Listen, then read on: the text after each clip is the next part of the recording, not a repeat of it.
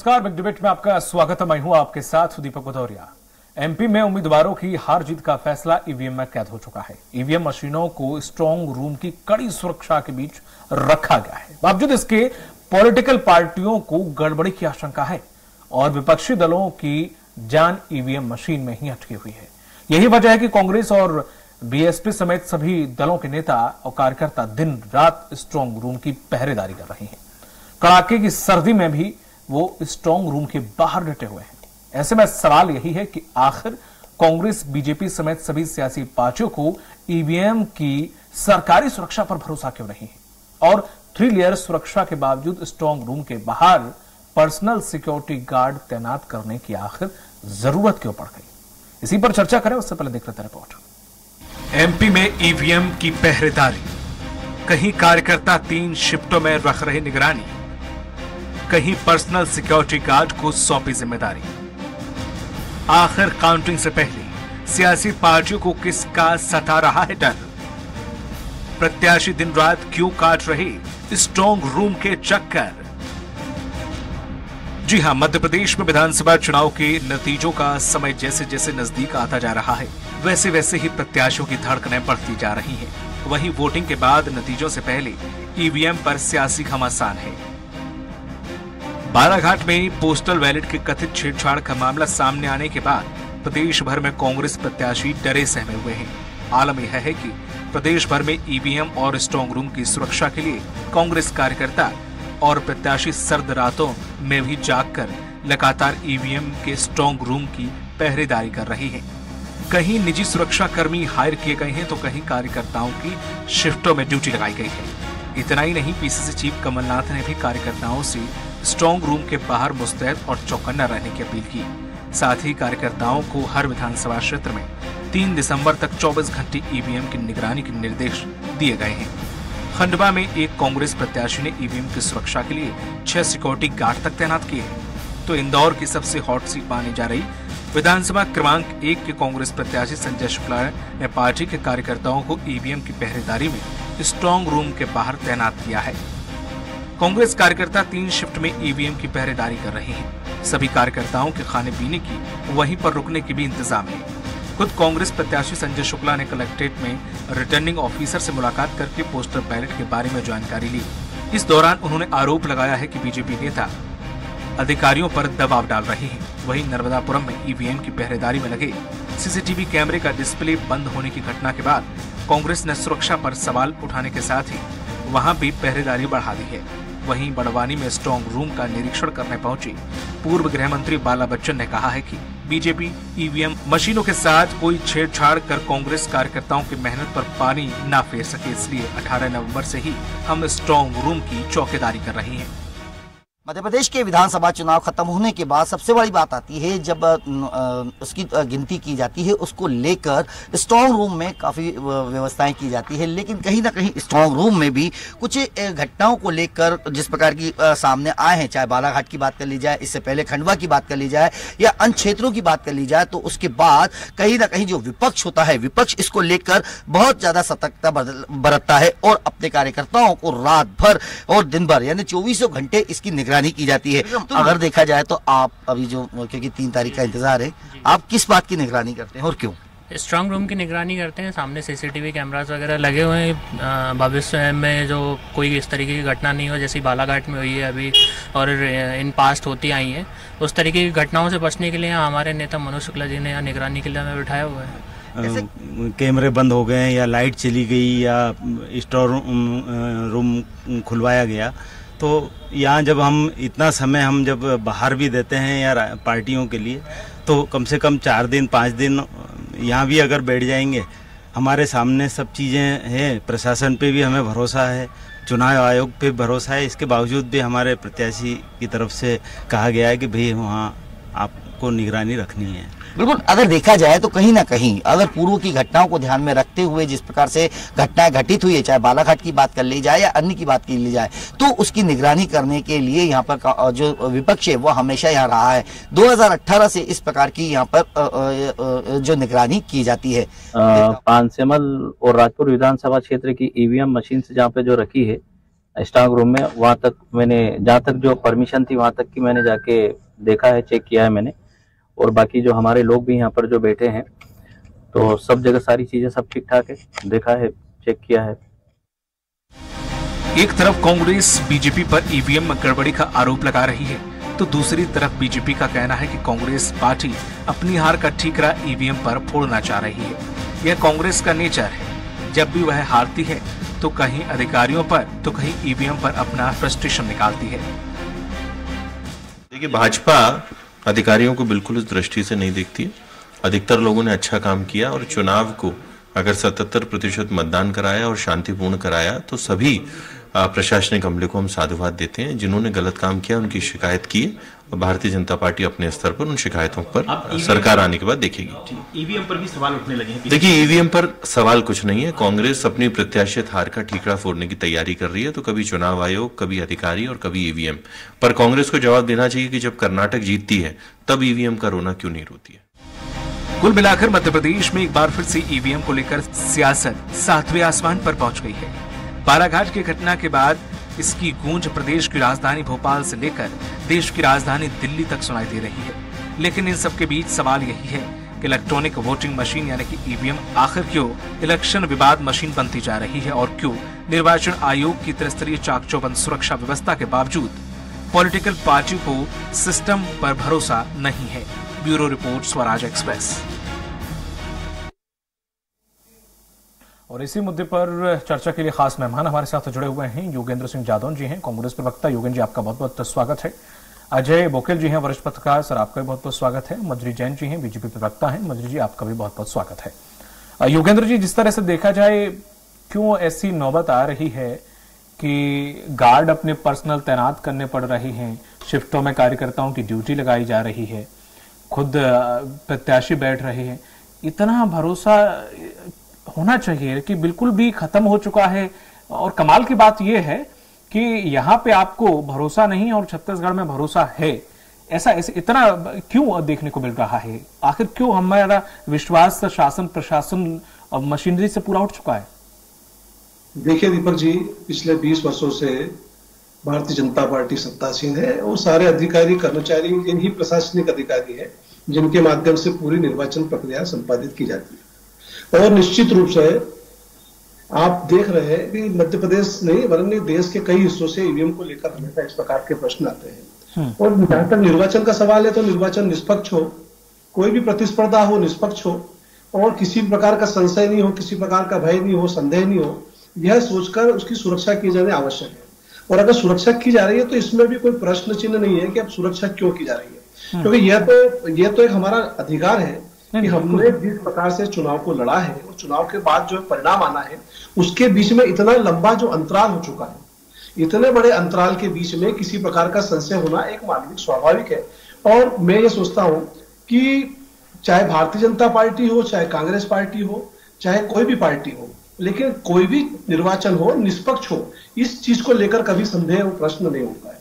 अभी ईवीएम का सवाल है तो ईवीएम का तो दीपक जी इतिहास ही देखें आप।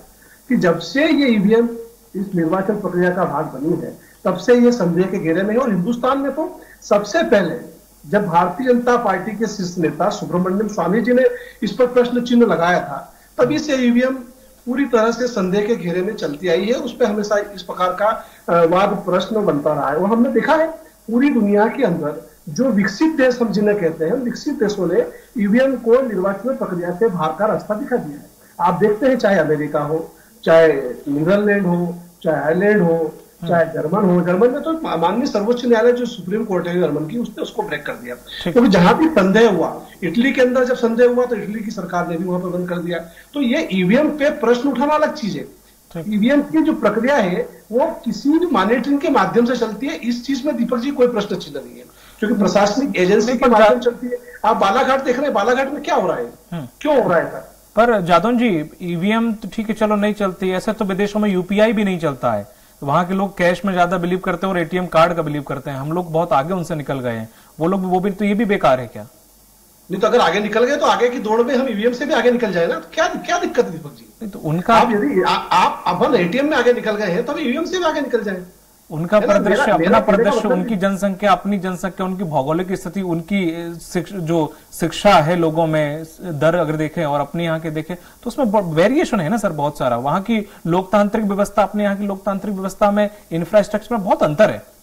देखिए लोकतांत्रिक व्यवस्था और लोकतांत्रिक देश का दुनिया का सबसे बड़ा जो लोकतंत्र है वो हमारे पास है।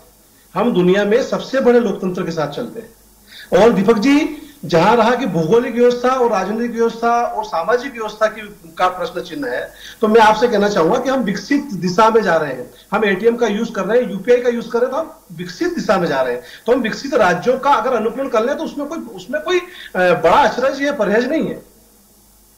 ठीक है, अब आप कह रहे तो मान ले रहे वरना एस्टोनिया एक ऐसा देश है जहाँ पे सबसे पहले डिजिटल वोटिंग हुई है, लेकिन वो भी आ गए हैं। अगर दोनों को कंपेयर करें तो फिर वो लोग ऐसे, खैर, ठीक है, आपकी बात मैं मान लेता हूँ। चलिए, ठीक है। जिस तरह से मजरी जी इस पूरे मामले को देखें तो आपके लोग नहीं बैठे हैं शायद या बैठे हैं आपके लोग भी तैनाती कर रहे हैं? बैठे बैठे हैं। बैठे तो मजरी जी फिर तो सवाल बनता ही नहीं है फिर कांग्रेस से पूछने का।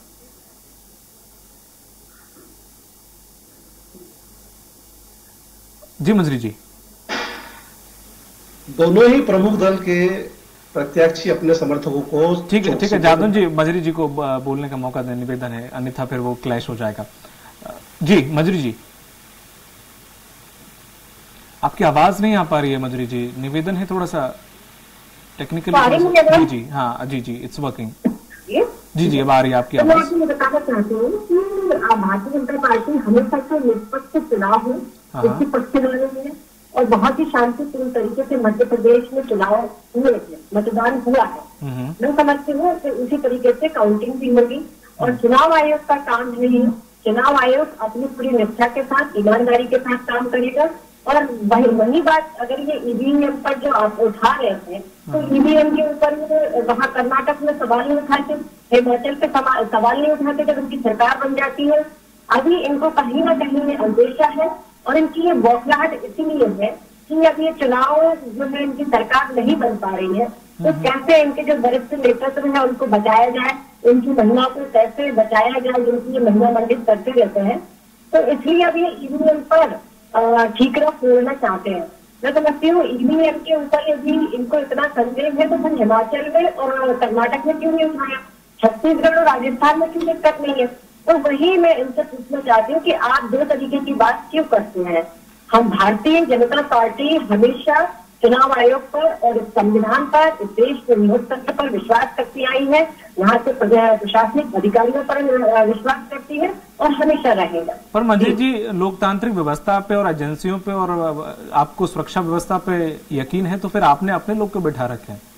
मेरी जानकारी में तो ऐसा कुछ नहीं है। और उनके यहाँ क्या है मैं जहाँ रहती हूँ मुझे तो ऐसा कोई ऐसा कुछ देखने को नहीं मिला कि भारतीय चलिए ठीक है मैं आपसे मैं। आपसे मैं आपसे यही कहलवाना चाह रहा था कि थोड़ा सा आप ये कहें। तो अब मैं आपको बता दूँ छत्तीसगढ़ में पूरी पार्टी आपकी बैठी हुई है रखवाली कर रही है।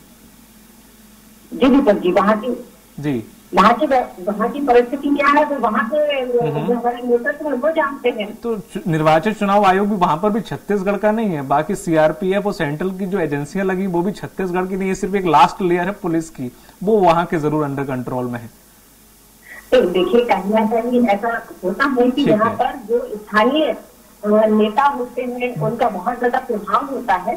तो कहीं कहीं ऐसा हो सकता है मैं ऐसा मानती हूँ। हाँ मतलब ये है कि हम भी उंगली उठा नहीं सकते खैर कांग्रेस पर अगर वो भी बैठे हैं तो हम भी ये नहीं कह सकते कि इन्हें विश्वास नहीं है। तो हमने तो उंगली उठाई हुई है। नहीं नहीं तो बीजेपी कह रही है ना कि गार्ड बिठा दिए लोग बैठे हुए हैं भरोसा ही नहीं है। ऐसा कह रहे हैं ना? अभी उनको भरोसा नहीं है तो बैठे हमें तो कोई और- दिक्कत नहीं है। और हैं और अच्छी जी, बैठे तो हमारी एक तो पहरेदारी चुनाव आयोग तो अपनी पहरेदारी कर ही रहा है। अगर फ़ोन में अगर पहरेदारी हो रही है तो क्या है? अच्छी बात है। मैं समझती हूँ निष्पक्षता से होना चाहिए हर बार हर काम। और मजरी जी ये ये कांग्रेस नहीं है सिर्फ़ जो कह रही है कि ईवीएम में दिक्कत है ईवीएम से मत कराओ ईवीएम हैक हो चुकी है।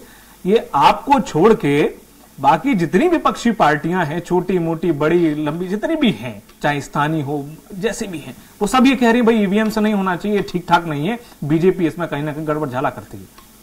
देखिए, दीपक जी, जहाँ तक मैं आपको जानती हूँ, आप स्वयं इस बात से जब बात का जवाब जानते हैं, जब कांग्रेस को दिक्कत है तो छोटी मोटी पार्टियों को तो दिक्कत होनी है। क्योंकि उनका तो कोई वजूद ही नहीं है पहले ही ईवीएम का रोना रोने रोने लगेंगे अच्छा जो क्षेत्रीय नेता होते हैं जिनका क्षेत्रीय आधार होता है उनका वहाँ थोड़ा सा प्रभाव भी होता है ब्रेकेट पेपर से होगा तो उनको ऐसा लगता है कि कुछ कर सकते हैं मैं ऐसा सोचती हूँ उनका क्या व्यक्तिगत सोच मुझे नहीं पता अच्छा, लेकिन मैं समझती हूँ कि बहुत अच्छे से आप इस बात का जवाब आप स्वयं भी जानते हैं ठीक है चलिए मान लेते हैं। सर वरिष्ठ पत्रकार सर मैं आपके सर पास आना चाहूँगा। अजय जी जिस तरह से देखे जाए दोनों ही पार्टियाँ कह ज़रूर रही हैं कि हमें मतलब नहीं है लोकतंत्र पे भरोसा नहीं है पर एक्चुअली मायने में देखा जाए तो दोनों में से किसी को भरोसा नहीं है सब अपनी अपनी एक दायरे में रह के चीज़ें करना चाहते हैं। लेकिन ये जो परंपरा जो परिपाठी शुरू की गई है इन पार्टियों के द्वारा ये आने वाले भविष्य में थोड़ा सा भाई भाई रूप नहीं लेगी आपको ऐसा नहीं लगता? देखिए ऐसा है कि ईवीएम का विरोध और समर्थन अभी सत्ता सापेक्ष हो गया है। आपको अगर कुर्सी मिलती है तो ईवीएम अच्छी है आपको नहीं मिलती है तो ईवीएम पर सवाल है। बिल्कुल। दूसरी बात है कि ईवीएम का इस्तेमाल होते हुए इस देश में 25 साल हो चुके हैं। जहाँ तक मुझे याद है कि शायद 98 या 99 के आसपास पहली बार ईवीएम का प्रयोग किया गया था प्रायोगिक तौर पर कुछ निर्वाचन क्षेत्रों में। और उसके बाद धीरे धीरे इसको बढ़ाते बढ़ाते। अब तो वो स्थानीय निकाय चुनाव भी हमारे यहाँ ईवीएम से होने लगे हैं। तो इसका दायरा लगातार बढ़ता चला गया है। अगर इसमें इतनी बड़े पैमाने पे गड़बड़ियाँ संभव होती तो ये कब की बंद हो चुकी होती? मैं ये नहीं कह रहा हूँ कि ये 101 परसेंट सेफ़ है या सुरक्षित है लेकिन इसमें गड़बड़ियों की संभावना न्यूनतम है। छोटा मोटा कहीं कुछ होता होगा तो नहीं कह सकते। और इसका सबसे बड़ा प्रमाण ये है कि सत्ताएँ बदल रही हैं। सरकारें बदल रही हैं। बिल्कुल सही और जनादेश अलग अलग तरीके से आ रहा है। अब आपकी सरकार आ जाती तो आपको ईवीएम अच्छी लगने लगती है और आपके नहीं आती तो आप बुरी लगने लगती है। इसका तो कोई लॉजिक नहीं है और इसका कोई ये कोई एक कुतर्क है अपने आप में।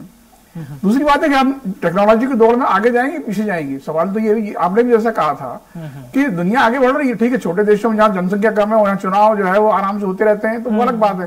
भारत जैसे देश में जहाँ पर करीब एक सौ सौ करोड़ से ज़्यादा मतदाता है तो वहाँ पर अगर हम टेक्नोलॉजी की की मदद दे रहे हैं तो उसमें कोई बुराई नहीं है। अजय जी वो भी समय हमने सबने देखा है कि पेटियाँ ले लेके भाग जाते थे लोग उसमें पानी डाल हाँ और थे, समय भी देखा। हमने तो वो चुनाव देखा है तो जब मतपत्रों से जी, जी, जो जी। होता था चुनाव होता था और कितनी गड़बड़ियाँ होती थी। आज आज की तारीख में इस तरह की गड़बड़ियाँ देश में केवल एक राज्य में हो रही है और वो पश्चिम बंगाल। जबकि इसके लिए किसी जमाने बिहार यूपी हरियाणा सबसे ज़्यादा बदनाम थे।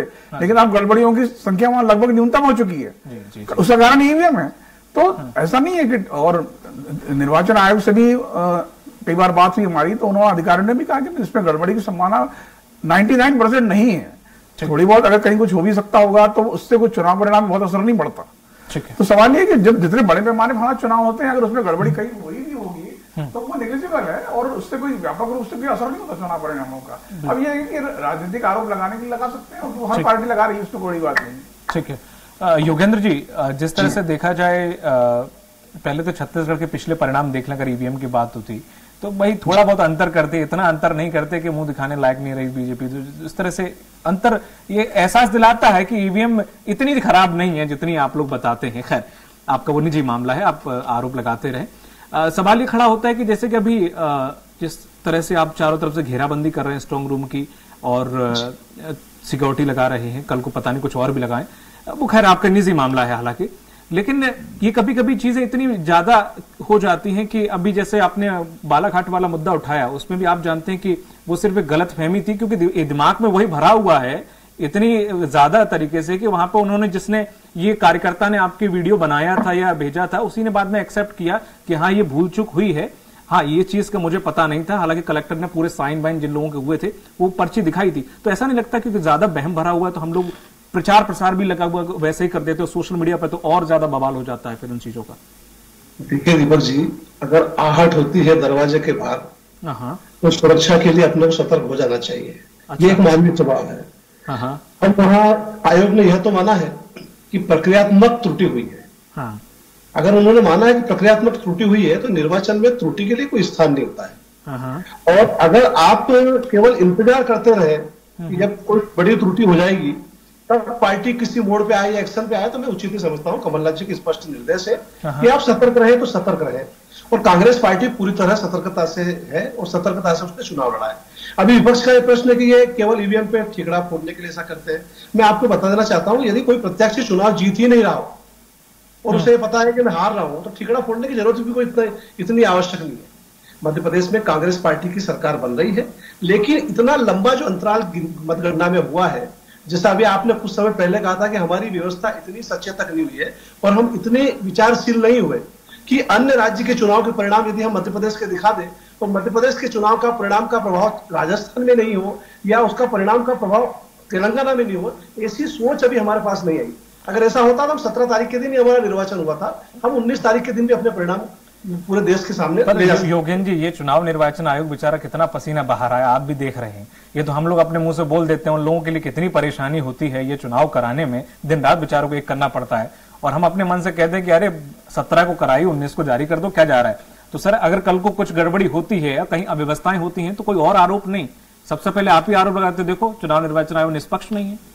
बोला तो गड़बड़ी होगी हमारे हमारे सामने सबसे बड़ी जो संशय है हमारी जो विसंगति है मतलब राजनीतिक सोच से ऊपर उठ के अगर हम सोचे हम्म। तो हम देखते हैं कि ये हमारी चुनाव की प्रक्रिया जो है ये क्या है कि केवल प्रशासनिक एजेंसी के स्वरूप के माध्यम से संचालित होती है। हमारे पास इसके लिए इसके लिए स्पेशल कोई अलग से कोई कैडर नहीं है जो हमारे देश में निर्वाचन को करवाता हो। और दूसरा इसके अंदर जो सबसे महत्वपूर्ण इकाई होती है यूनिट होती है वो होती है ईवीएम। और ईवीएम के स्तर पे की जो सुरक्षा होती है और ईवीएम जहाँ से संचालित होती है और जिनकी मॉनिटरिंग में रहती है तो निश्चित रूप से हमारे हमारे जो है प्रशासनिक ढांचे का सबसे छोटा और निचले स्तर का स्वरूप होता है। तो पूरा परिणाम में संशय कहीं ना कहीं उत्पन्न हो जाता है। और इदा किदा गलती वाली बात जहाँ तक है तो ये तकनीकी गलती है तकनीकी त्रुटि हो जाना वो एक अलग चीज़ होती है लेकिन यदि कोई साहसा ऐसा हो जाता है तो मेरे हिसाब से वो निश्चित नहीं है। और सुरक्षा के लिए यदि कोई पहरेदारी कर रहा है तो किसी को क्या परहेज है? जब मैं जब मैं मैं पूरा पाक हूँ जब पूरा निष्पक्ष हूँ तो मुझे क्या डर है? आप करिए सुरक्षा। ठीक ठीक ठीक ठीक। मंजरी जैन जी, जिस तरह से कई जगह ऐसे इनके नेता प्रतिपक्ष गोविंद सिंह जी आरोप लगाते रहे हैं कि कुछ वैलिड पेपर ही गायब हो गए। कहीं जगह, उन्होंने कई जगहों के नाम भी लिए और कहीं जगह ऐसी त्रुटियाँ देखने को मिली तो हो सकता कहीं जगह अफवाह थी, कहीं जगह थोड़ी सी मिसअंडरस्टैंडिंग थी तो कहीं कुछ जगह कुछ थोड़ी सी चीज़ें हुई भी, जिसमें चुनाव आयोग ने संज्ञान भी लिया। तो सवाल ये खड़ा होता है कि क्यों इस तरह की गतिविधियाँ देखने को मिलती हैं? ये हर चुनाव में ऐसा क्यों? और बीजेपी पे आरोप लगता है कि यही एक ऐसी पार्टी है जो खेल करती है कहीं ना कहीं, चाहे छोटे रूप में, बड़े रूप में।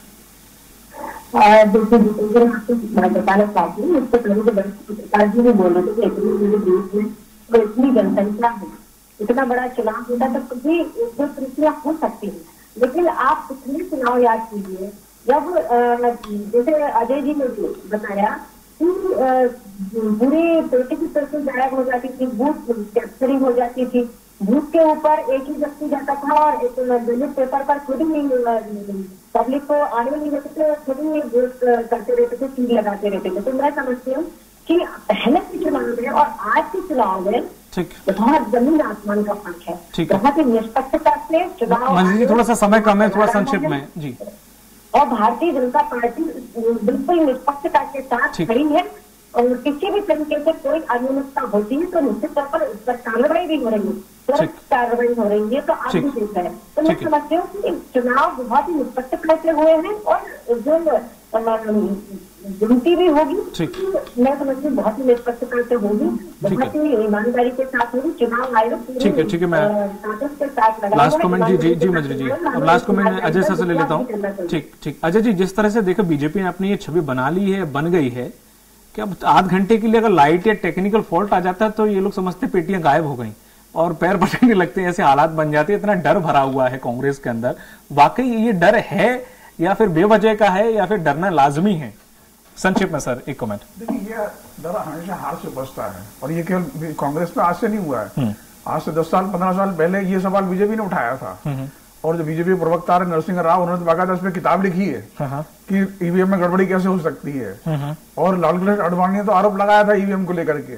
तो ये कोई नई बात नहीं है क्योंकि वो हार रहे थे चुनाव। तब उनको सारी शंका हो रही थी। जब से बीजेपी जीतने लगी तो ईवीएम से अच्छी चीज़ दुनिया में कोई नहीं सकती है। ठीक है। तो सभा आम आदमी पार्टी उदाहरण देख लीजिए। आम आदमी पार्टी के विधायक सौरभ भारद्वाज ने तो दिल्ली विधानसभा में बाकायदा प्रदर्शन करके ये डेमो दिया था कि ईवीएम में गड़बड़ी कैसे की जा सकती है। वही आम आदमी पार्टी पंजाब में जीतने के बाद ईवीएम का नाम ही नहीं ले रही है। तो मैंने पहले ही आपसे कहा कि ये सत्ता सापेक्ष आरोप है। ठीक है। आपको सत्ता मिल रही है तो ईएम से अच्छी कोई चीज़ नहीं है और अगर आपको सत्ता हाथ से फिसल रही है तो ईएम से खराब कोई चीज़ नहीं है। इसलिए ये आरोप खुद ही अपने आप में खारिज हो जाता है। Plus minus equal to zero. ठीक है सर। चलिए इस डिबेट में फ़िलहाल इतना ही।